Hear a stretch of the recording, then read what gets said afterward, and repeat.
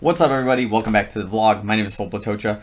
Today's video topic is actually a question that was on one of my videos and funny enough, I was thinking about answering it and then I realized I was going to go down a really deep rabbit hole and I said, screw it, I'm going to make the video to break this down. So as you can guess by the title, the question here is which one should you use for the marathon? The Nike Vaporfly Next Percent 2 or the Alphafly? So before we get into it, make sure you like the video, subscribe to the channel. You guys know how this thing works, of course. And of course, if you are already a subscriber to the channel, thanks so much. Love you guys a lot. Um, yeah, let's talk about it. So first things first, respectively, here are the specs for each shoe, somewhere lining up with the shoe appropriately. I think it's like right there. I don't, I don't have this framing ever exactly figured out, but okay. First things first, let's talk about the Alphafly. This is the older of the two shoe models by just a few months. Not that crazy, I would say. But yeah, overall, the shoe kind of looks something like this. It weighs about 8 ounces, give or take a few, depending on your size. Mine's an 8.5. That's about there. Rolling, I would say probably about 225, 230 grams if I'm doing my conversion correctly. So it's a little bit heavier than most carbon plate racing shoes on the market, but let's be considerate here. This shoe has some additional moving parts with the air pockets as we got there. Uh, the heel of this shoe is about 39 millimeters and the forefoot is about 34, giving it a stack height of 4 millimeters. Very interesting. You wouldn't really think that would be the case as you can see how much ZoomX foam is just chilling on this shoe. So speaking of the midsole and the outsole, midsole is just a huge stack of ZoomX with a carbon plate sandwiched in between two pads of it, which is really cool, really awesome. That's been a good feature on a lot of the Next Percent Racing shoes that I think is working out really well, and it does stir up a lot of controversy, but again, a lot of its competitors have also been kind of doing something very similar. Now in the forefoot, this is where all the fun really begins. We do have the alpha plate that is labeled here inside the shoe, but also we do have these air zoom pockets, which is the bread and butter of this shoe and what makes it really unique overall. So with, of course, the air pockets, you can guess what they do. The compression and decompression occurs whenever you hit in this midfoot, forefoot region of the shoe. You decompress and the pods are supposed to assist in the decompression to give you kind of a push or a launch off the shoe depending on how you run with it.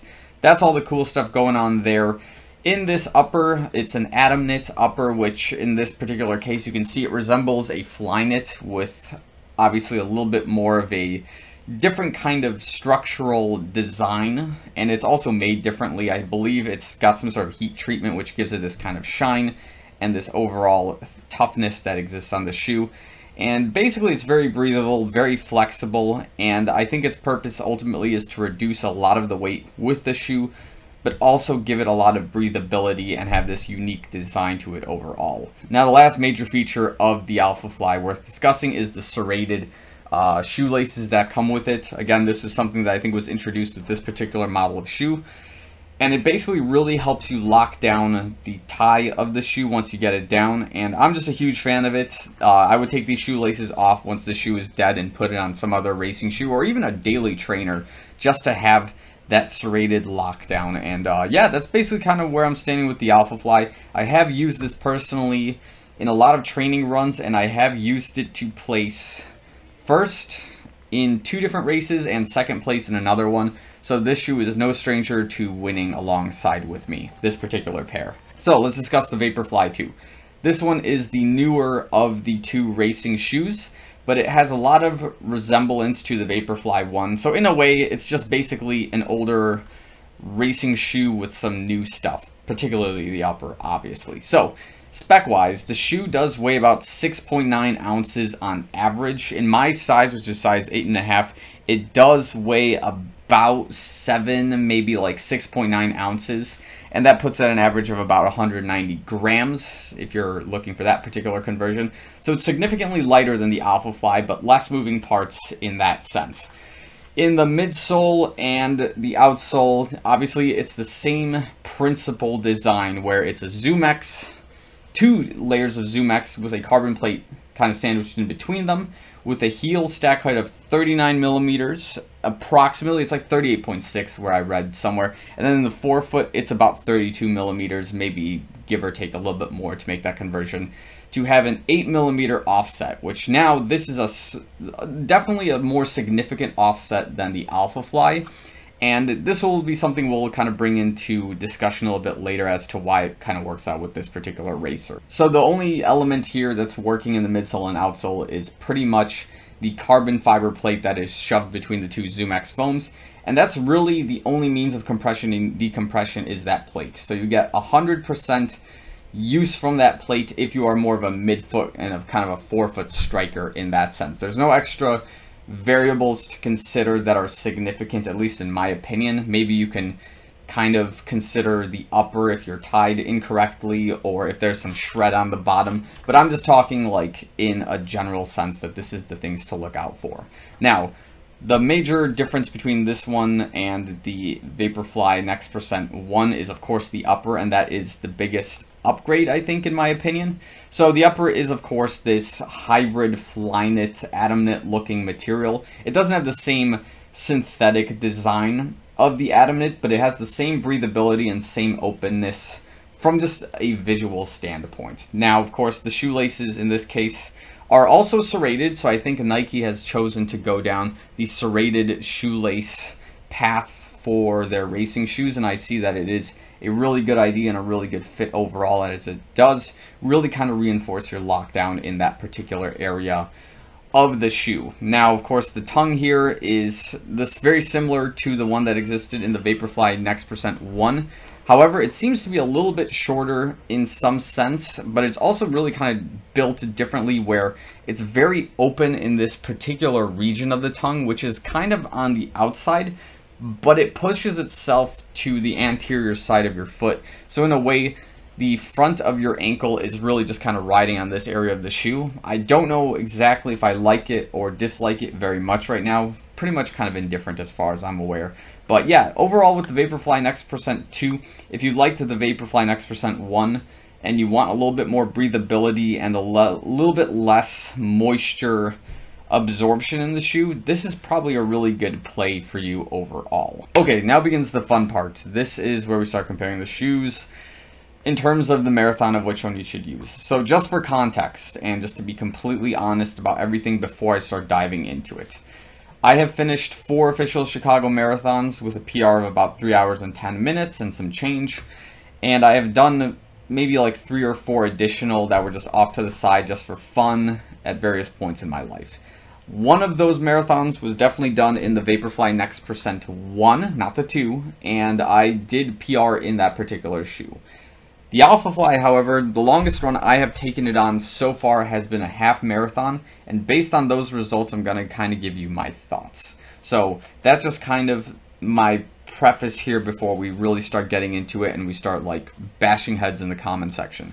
So if you've been watching this channel already, you'll know this for sure. I've said this a couple of times the Alphafly is probably going to be my go-to racing shoe in most instances. And in this particular case, I've won 5Ks, I've placed it during 10Ks, I've used it during half marathon training sessions and just felt really fresh and really good to go after those particular runs.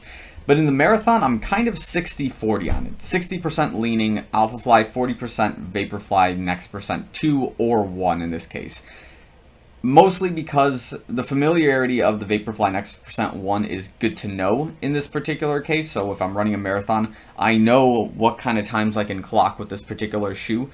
But I'm also aware of how I feel in the Alphafly 1. So as I mentioned before, the Vaporfly Next Percent 2 is more of a reactive, more of a responsive to whatever you put in to the shoe kind of a run. And that's really a good thing. So if you need to slow down, the shoe is pretty responsive in that sense of it'll kind of tone itself back if need be.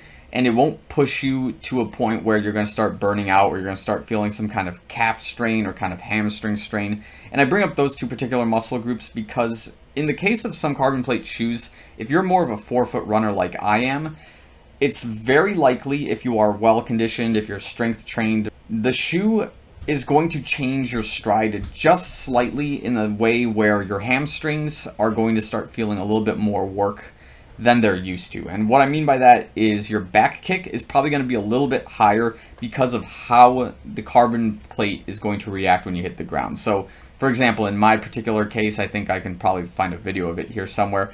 Whenever I'm running in a carbon plate shoe or something with these air pockets, I do have a really big back kick, which is really comfortable and feels very natural for me. But I know for a fact it's utilizing more hamstring and maybe a little bit more glute than I'm used to. So in kind of a fitness sense, it does kind of cheat you a little bit in the way where you might not be ready to be hitting these fast paces consistently and you may pay for it later, but you're aware of the fact that this is the natural stride in these particular shoes that you can accomplish. So, uh, for other context, why this is important is because in the Vaporfly Next Percent 1, when I was running the 2019 Chicago Marathon, I hit about mile 21 or 22, and I hit the wall. But the thing about hitting the wall here was like it turned into a run, walk, run, walk kind of a thing but I was well above my PR at the time, about 20 minutes ahead of my schedule, and I was really close to qualifying for the Boston at the time, which was like a 305, if I'm not mistaken. It may have just been sub 3 at that point.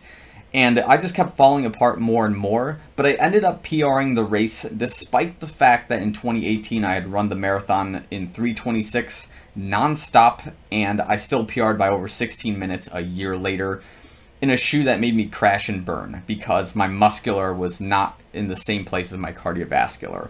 So, very interesting observation on that front with this shoe. Now that I've learned my lessons on that front, this would be still like a great shoe I can redeem myself with and just like understand better that when I need to slow down, definitely slow down. Don't keep pushing in this shoe. Don't let it carry you away. You know, just have full control of it and you'll have a good time during the marathon. So, again, as I should have probably prefaced this before, both shoes to me seem like really good marathon options. It's just, I'm personally leaning more towards the Alphafly in this case, and here is why. So, again, there's some momentum I have going on with this shoe because I've won races with it so far, like legitimately won. And the case here is that the shoe itself is extremely comfortable and it doesn't feel like you're pounding the ground nearly as hard as the Vaporfly Next Percent 1 or 2 because the AirPods or the Air Zoom pockets, whatever you want to call them, are essentially giving you a little bit of room to kind of just have some bounce and kind of some propulsion on that front, especially with the compression and decompression. The only two setbacks here is that the shoe is just a smidgen heavier than the Vaporfly Next Percent 1 and 2, and also, I think this is probably something worth noting, is that the Air Zoom pockets do have a pretty short lifespan if you are using them for training. So in this particular case, like, if you look at, yeah, this shoe in particular, you can see this one is like ready to start exposing the Air Zoom pocket.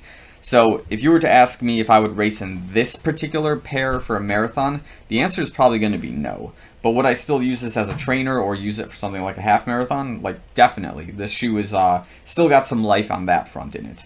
The other setback worth considering here, I think in my case, um, ah yeah, that's what it was going to be, is that this shoe itself, it's very fast. Like, let's not get that wrong whatsoever. It's been labeled a shoe for cheaters, I guess, because the Air Zoom pockets or whatever. I think Lionel Sanders said that, but whatever. He'll race with them anyways, right? A big cheater. Ha ha. Anyways, the other setback here that I think happens with the Alphafly in particular is that because of the air zoom pockets, you have this additional bounce, this additional compression and decompression. It becomes harder to control your pace in this particular shoe. So it's very easy to run fast in this shoe and your stride can adapt to it, but you're going to redline pretty quickly in the sense that maybe your hamstrings start getting getting overused, your calves may start getting overused, and maybe your glutes can also start experiencing a little bit of strain as well. So to slow down in the shoe is quite difficult because of how much bounce you're getting in it. But if you are ready to sit in a race and just redline it all the way through, like, you know, uh, no holds barred, you're gonna fully send it. This shoe is fine for that, but just be wary that if you get to like mile 20 and you're feeling exhausted and you can't seem to get yourself to slow down or you're trying to slow down, it's going to become a little bit more difficult in this shoe with the Air Zoom pockets, especially if you're a forefoot and kind of a high midfoot runner. So, in summary, I will say this both shoes are definitely marathon race worthy by every stretch of the imagination. It just, in my personal preference, I would go 60-40 in this particular case. Mostly just because I have a great experience with the Alphafly overall in terms of its bounciness, in terms of its comfort, in terms of the fast response I can get from the shoe if I need to go faster. But of course, I have to be very wary with the shoe in the longer stage or the latter stage of any sort of distance race that I need to gain some control so I don't fry my muscles in that particular case. Especially if like my heart cardiovascular is like in a good spot, I would need to be very careful not to crash and burn in this particular shoe. Now, with the Vaporfly Next Percent 2, again, there's a lot of familiarity with this shoe because I've raced with it in 2019. I know that it will definitely take me to the places I need to go in the race. It will definitely beat my feet up a lot because I know how the reaction and the response is with this carbon plate and just two layers of ZoomX just here in comparison to the Alphafly. But I do understand that if I need to slow down or speed up in certain ways, the shoe is very responsive on that front and it will carry you wherever you need to go.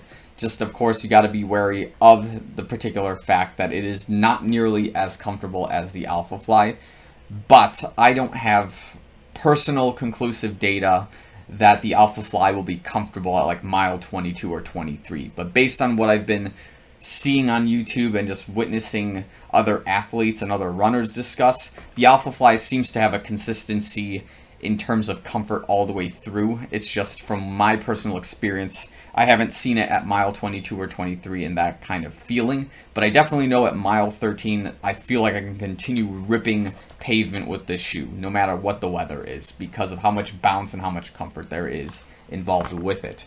So I think I'm going to end this particular comparison here.